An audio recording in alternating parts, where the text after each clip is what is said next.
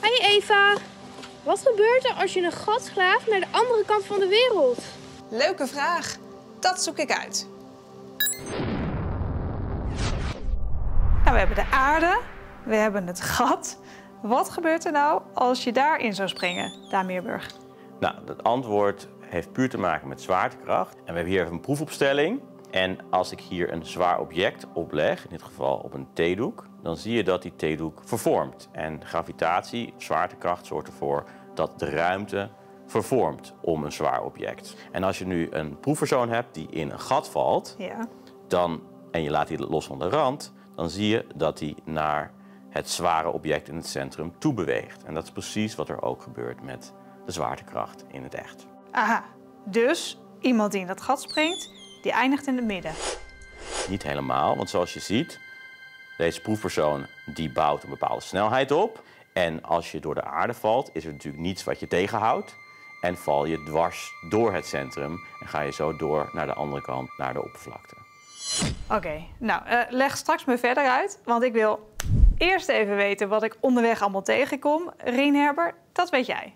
Wat je tegenkomt is een korst, die is dun, dus waar we op lopen. Dan een stuk gesteente, en dan hebben we het over 1500 kilometer of zo.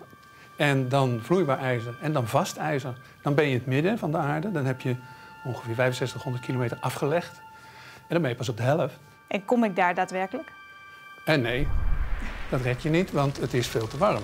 In het centrum van de aarde is het ongeveer 5000 graden. En de druk is ook nog hoog. Al die lagen die drukken op het midden van de aarde. Dus dat is gigantisch. En die wordt, die wordt geplet. Is het ooit geprobeerd? We hebben wel gaten geboord. Zo'n Groningen gasveld is drie kilometer.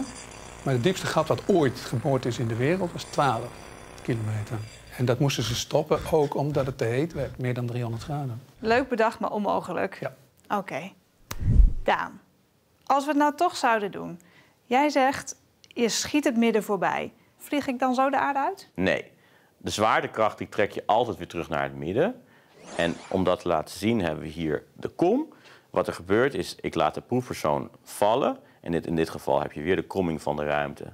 En de proefpersoon die valt naar het midden, schiet aan het midden voorbij, wordt weer terug aangetrokken naar het midden. En zo gaat dat heen en weer. En uiteindelijk komt de proefpersoon tot stilstand en dat komt door de wrijving van de lucht. En als het nou een soort van vacuümtunnel zou zijn? Dan verlies je geen snelheid, dus dan schiet je met je hoofdje precies aan de andere kant eh, boven de tunnel uit. En vervolgens trekt de zwaartekracht je weer aan en beweeg je naar het midden. En dat doe je voor eeuwig. Dus voor eeuwig beweeg je heen en weer.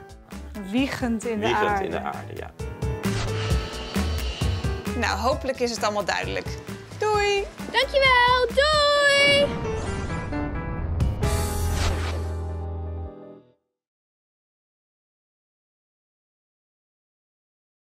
Wil jij alle hoogtepunten van RTV Noord ook op YouTube zien?